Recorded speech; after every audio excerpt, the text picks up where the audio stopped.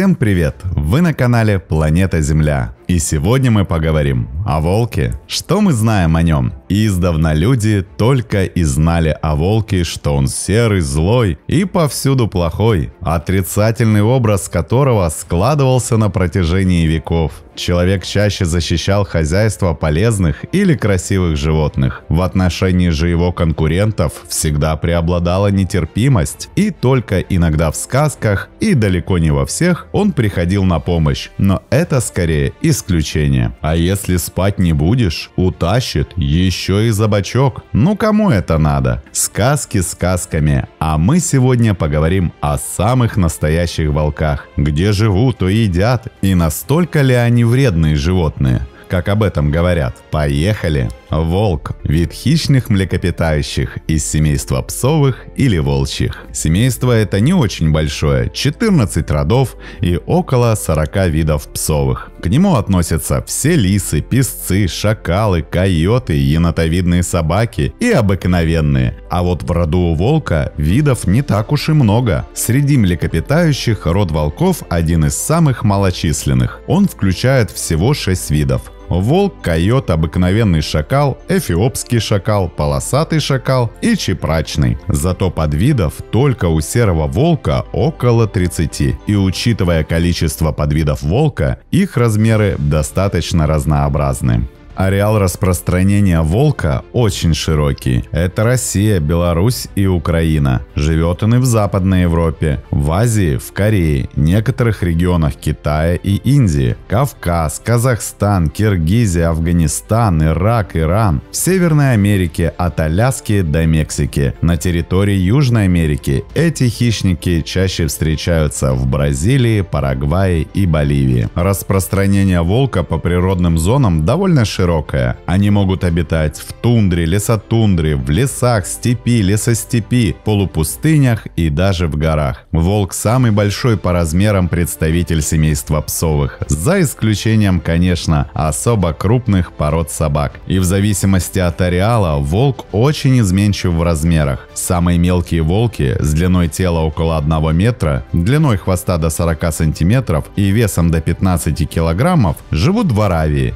и Египте. Самые большие волки с длиной тела более полутора метров и весом более 40 килограммов, а иногда и до 90, населяют север Канады и Аляску. И самец, как правило, на 20% крупнее волчицы. А как он выглядит, мы сейчас посмотрим. Волки имеют широколобую голову с относительно широкой и достаточно вытянутой массивной мордой. И в этой голове, в отличие от сказок, где он глуповат, присутствуют мозги Mazgi. И горшочек варит. Волку свойственны определенные способности к наблюдательности, оценке той или иной возникающей ситуации и принятию необходимых решений. Бежать, затаиваться, отвлекать или нападать. При этом ему свойственна и хорошая память. Он надолго запоминает места удачной охоты или места, где что-то грозило бедой. В отношении памяти волк, возможно, даже превосходит легавую собаку, которая в нередких случаях даже через через год уверенно направляется в то место, где ее взволновала ранее найденная дичь. Ну а морда волка отличается повышенной выразительностью, что позволяет различать более десятка выражений в мимике хищника, благодаря сокращению лицевых мускулов, изменению конфигурации окрашенных частей морды, движению ушей, носа, губ, языка, глаз и пасти. Обнажил зубы, приоткрыл рот, выдвинул вперед углы пасти и уши, угрожал угрожаю, бойся меня. Закрыл пасть, прищурил глазки и ушки прижал. Сам боюсь. А если хочу поиграться, морда приобретает особое игривое выражение, при котором губы растянуты горизонтально, пасть слегка приоткрыта, а уши отведены назад. При этом животное совершает быстрые неглубокие дыхательные движения, сопровождающиеся характерным звуком. Все как у наших песелей. Другое важное средство выражения состояния состояние у волка – его хвост. В спокойном состоянии он свободно опущен вниз. Угрожающий волк держит хвост напряженно поднятым вверх над линией спины, вплоть до вертикального положения. При этом за счет вздыбливания волос увеличивается его размер. Если волк боится, то низко опускает хвост, часто поджимая его между ног. В движениях хвоста важна быстрота и амплитуда. Свободное помахивание хвостом наблюдается в взаимодействиях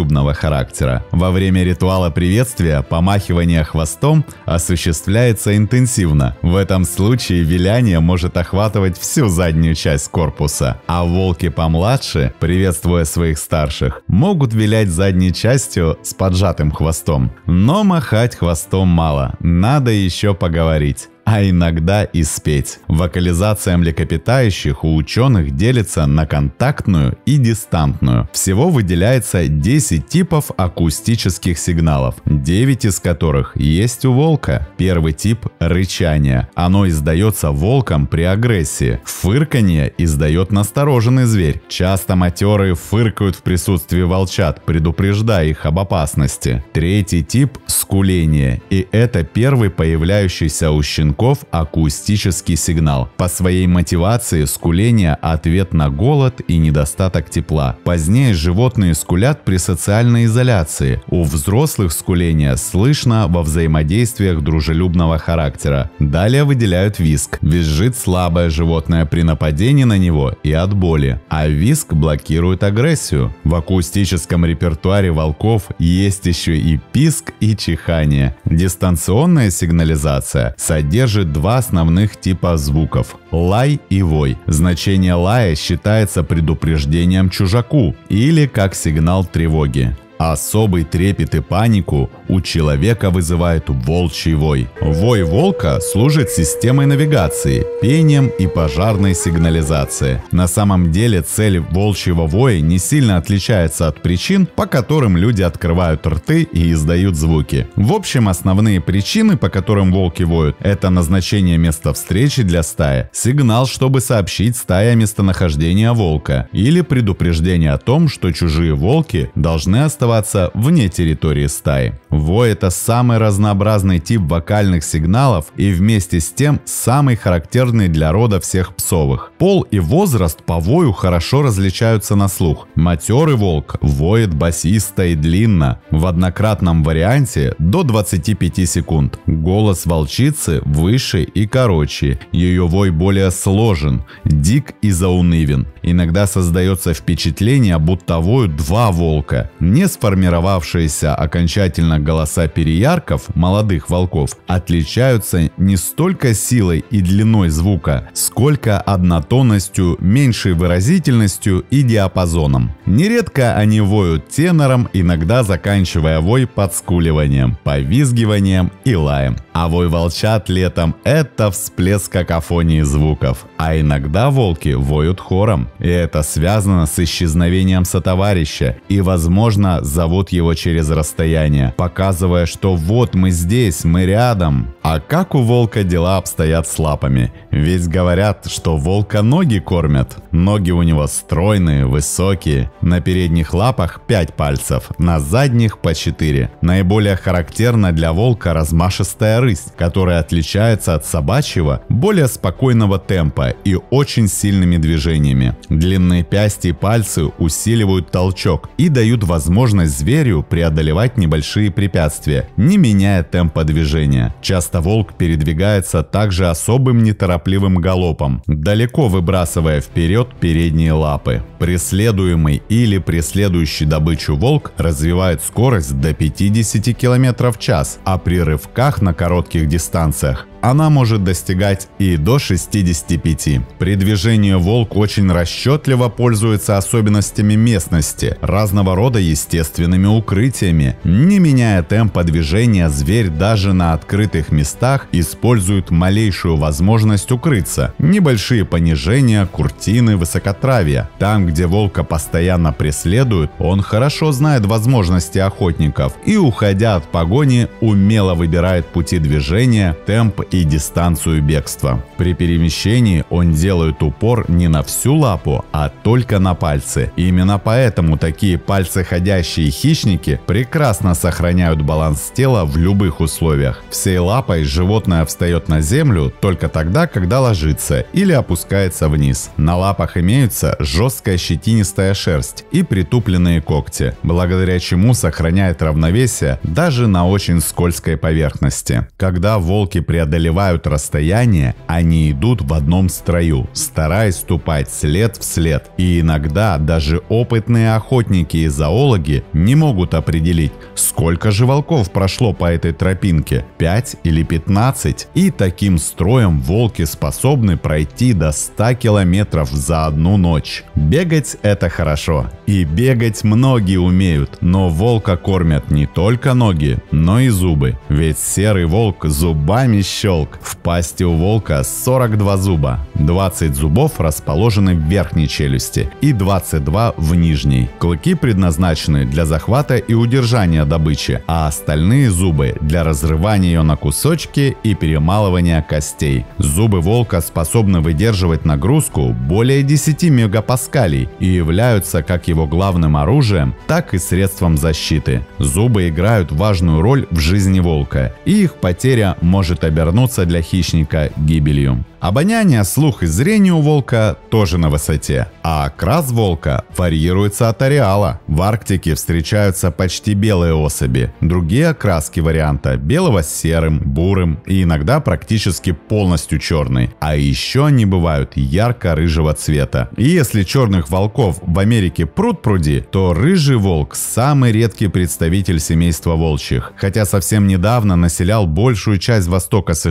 И не стоит их путать с красным азиатским волком. У красного волка густая, длинная, рыжевато-красная шерсть. И именно он упоминается в рассказах Киплинга о человеческом детеныше Маугли. Волки – территориальные животные. Размер семейной территории сильно зависит от ландшафта. В открытых ландшафтах тундры, степи или полупустыни они занимают до 1300 квадратных километрах. В лесной зоне намного меньше – около 250. Границы своей охотничьей территории волки обозначают запаховыми, визуальными и звуковыми метками. Насчет запаховых понятно. Их любой зверь видит и чует. Ну а для того, кто не разнюхал, волки оставляют царапины и поскребы на тропах, повальных деревьях, отдельно стоящих пнях, а своих соседей оповещают о своих правах воем. И для чего же им такая большая территория? Правильно, чтобы на ней охотиться. Волк питается разнообразными животными и некоторыми растительными кормами. Основа волчьего рациона – дикие копытные и на беду пастухам домашние животные, в зависимости от степени их доступности. Этот хищник предпочитает охотиться на крупных зверей, но для полярного волка в летнее время большое значение имеют лемминги, яйца и птенцы, размножающихся в тундре многочисленных птиц. Подрастающие волчата Ребята старательно ловят и охотно поедают различных насекомых, особенно жуков. Несмотря на мифы и сказки, что волк постоянно один ходит по лесу и ищет добычу, это не так. Волк большую часть времени мало активен. Только при поиске добычи он проходит большие расстояния. В среднем хищники перемещаются в день на 15-20 километров, на что уходит пару часов. Остальное время волки дремлют. И уж точно ходит он не один. Есть, конечно, и одиночки точки. Этих волков называют не территориальными. У них нет своего участка. Обычно это старые или больные звери, а может быть и не ужившиеся почему-либо в стае. Они бродят по участкам занятыми стаями. Последние их преследуют и нагоняют. Если такие волки находят незанятые семьями участки, то занимают их. Эти волки часто не в состоянии добывать крупных диких животных и промышляют домашними и держатся около деревень. Зимой жизнь одиночных волков гораздо труднее труднее, чем семейных. Возможно, страх многих людей, вызываемый волками, обусловлен их нахальством. На глазах у человека они могут зарезать овцу, выхватить собачонку из-под крыльца или саней, иной раз чуть ли не из рук человека. Наглое поведение волков бывает вызвано с одной стороны голодом, с другой – хорошим знанием возможностей человека. Они безошибочно знают, когда надо опасаться людей, а когда их можно и не бояться. Если у человека в руках ружье,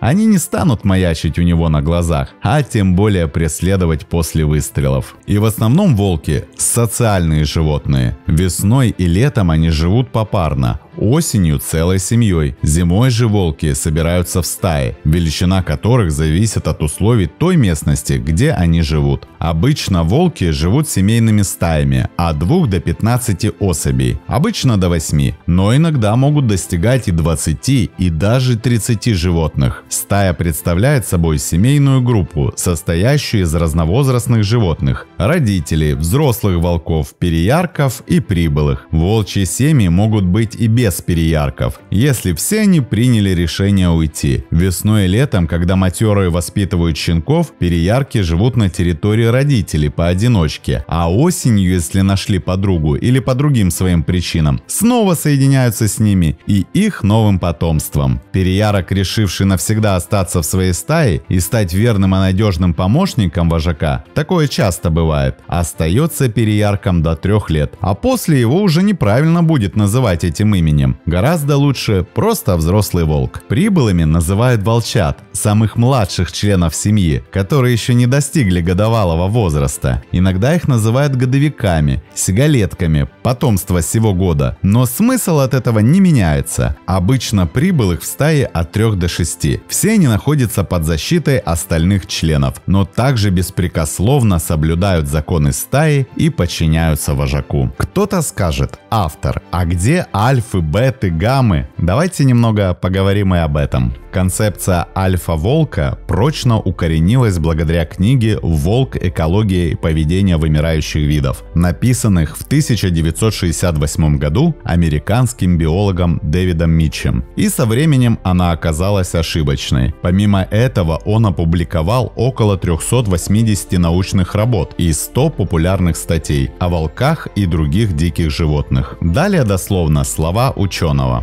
Хотя большая часть информации в книге по-прежнему точна, многое устарело. За последние 40 лет мы узнали о волках больше, чем за всю предыдущую историю. Одним из устаревших фрагментов информации является концепция альфа-волка. Альфа подразумевает конкуренцию с другими и становление лучшим псом, выиграв соревнование или битву. Однако большинство волков, возглавляющих стаи, достигли своего положения просто спариваясь и производя щенков, которые затем становились их стаей. Другими словами, они просто родители, а остальные волки в семье это в основном их дети. И да, в начале своих исследований Дэвид наблюдал за волками в неволе, причем из разных семей, что, конечно же, сказалось на результатах. Интересно, что автор со временем сделал такие поразительные выводы, не остановившись на достигнутом. А мы делаем выводы. Волки – это не какие-нибудь начальные буквы греческого алфавита, а настоящая, крепкая и заботящаяся друг о друге семья. А как она зарождается? Гон у волков браков проходит в январе-феврале. Пара формируется надолго, иногда на всю жизнь. Если на самку претендуют несколько самцов, то между ними происходят свирепые драки. Волчица выбирает сильнейшего. Случается и так, что на одного самца приходится пара самок. Тогда между ними возможно еще более бескомпромиссные схватки. Уже за месяц до щенения, а беременность волчиц продолжается чуть больше двух месяцев, матерые держатся вблизи будущего логова.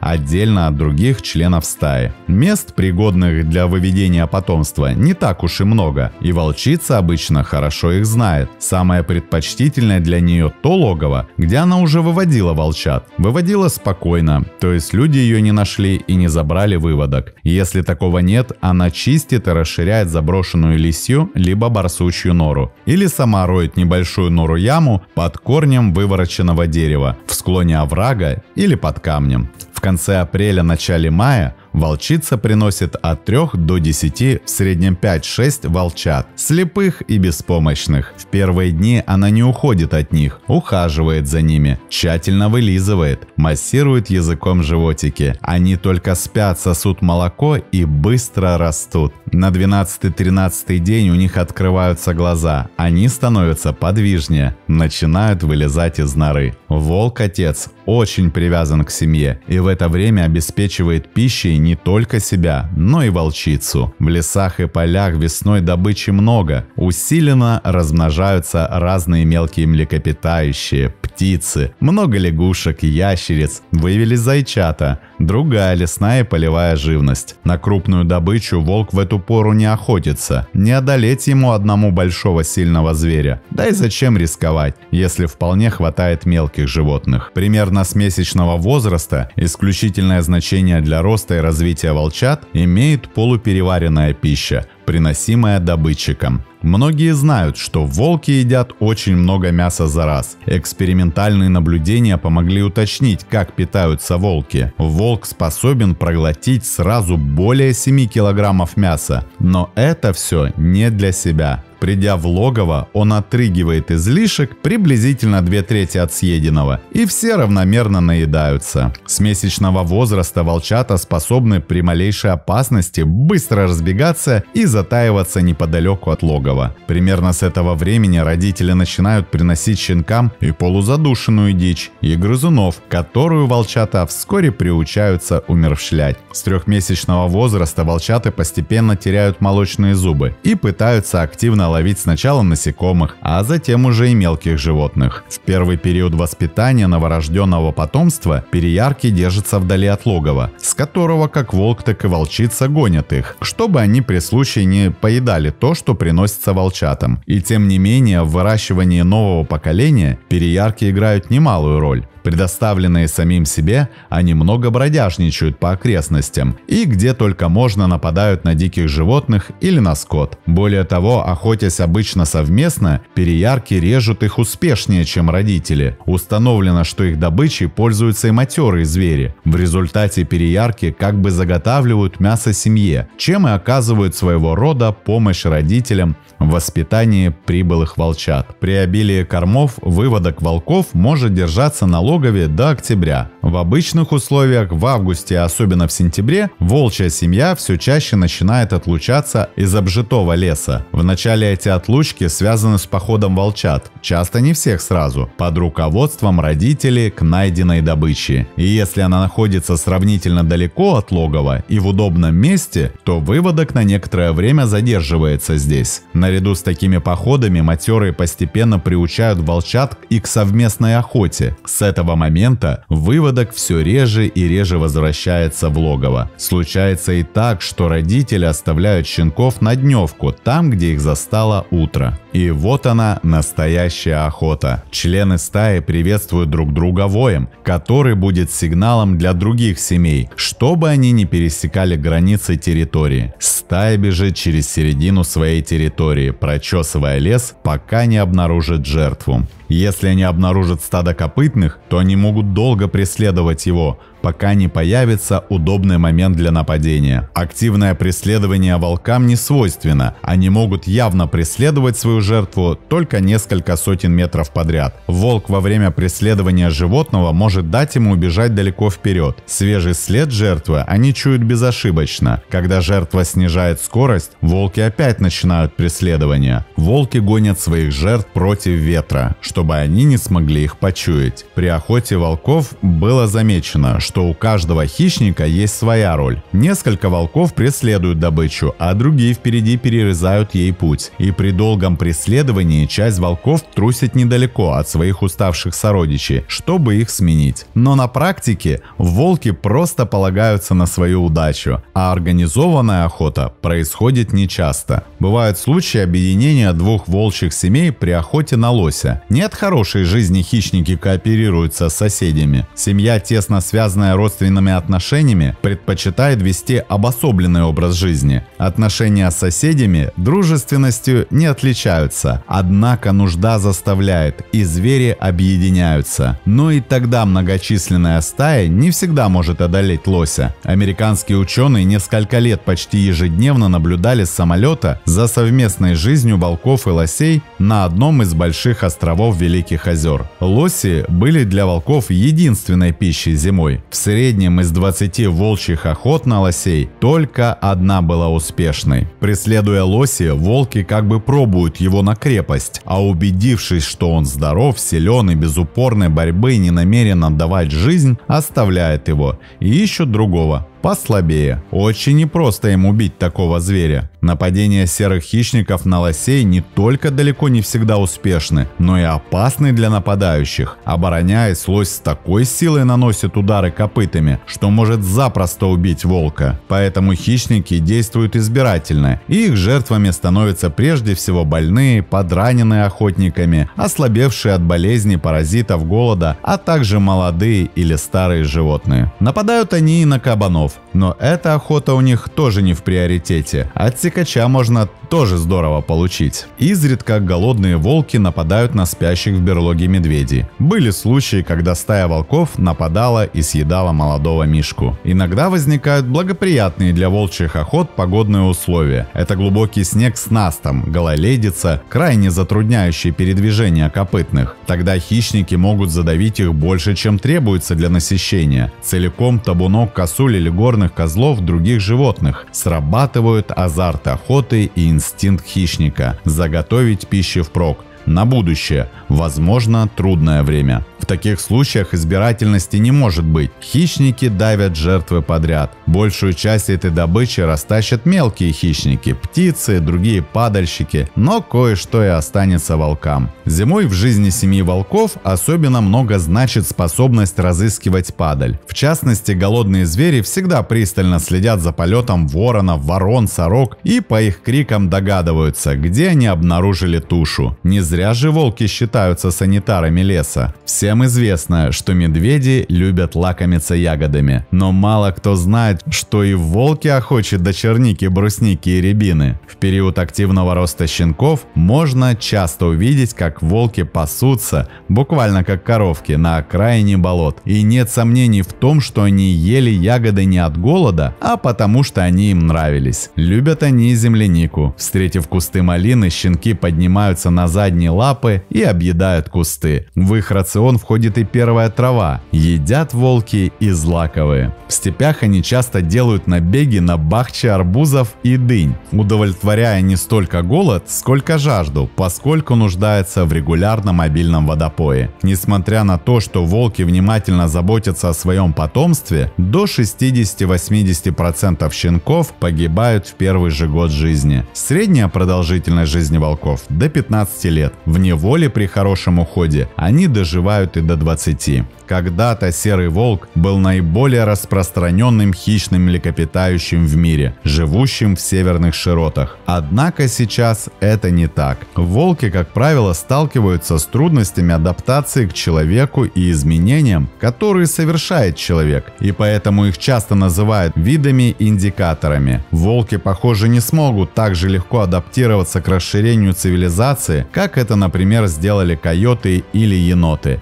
Несмотря на то, что серые волки не находятся под угрозой исчезновения, в некоторых местах популяция волков по-прежнему находится под угрозой. Ущерб, наносимый волками животноводству, был одной из основных причин для охоты на волков, и это может представлять серьезную проблему для сохранения популяции волка. Стройный, сильный и выносливый зверь, способный добывать крупных копытных, при случае не оставлял без внимания домашних животных. Дурная слава серого разбойника тянулась за волком столетиями. Человек объявил ему беспощадную войну, и этот красивый зверь исчез во многих странах европейского континента. Между тем, новейшие исследования экологии и поведения волка показали целесообразность его присутствия в экосистемах и выявили механизмы благотворного влияния этого хищника на популяции копытных. Положение усугубляется тем, что экологическую нишу волка нередко занимают одичавшие собаки. Их стаи имеют сложную и совершенную социальную структуру, которая обеспечивает повышение их жизнеспособности. Появляются также волко-собачьи гибриды. Вред, причиняемый дикими домашним животным,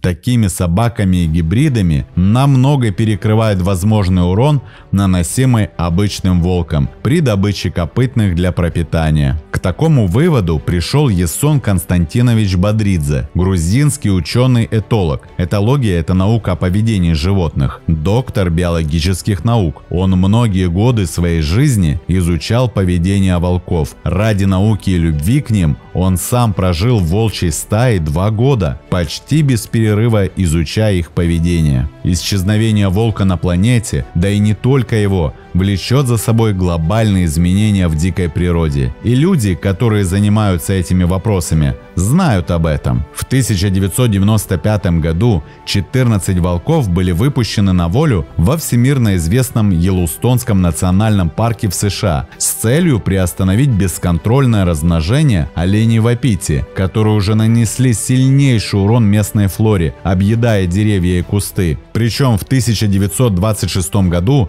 как раз целью сохранения этих благородных оленей здесь была полностью уничтожена популяция волков. Обратная акция привела к кардинальному изменению всей экосистемы парка, который буквально возродился. С коррекцией численности оленей начала возрождаться растительность, и за 6 лет количество деревьев в районе каньонов и ущелий увеличилось в 5 раз, что привело к возвращению в парк бобров и андатор. Волки уменьшили популяцию шакалов, что привело к увеличению количества зайцев и мышей, а те в свою сторону привлекли в парк ястребов, хорьков и лис. Снова пришли медведи-гризли, которых привлек рост числа кустов ирги, черники, черемухи и других ягод, которыми они питаются перед спячкой. Поменялись даже русла рек, чьи берега укрепили от эрозии разросшиеся деревья и кусты. Деятельность человека, который в погоне за благами природы забыл о том, что он сам является неотъемлемой ее частью, может иметь тяжелейшие последствия для животного мира. Чтобы защитить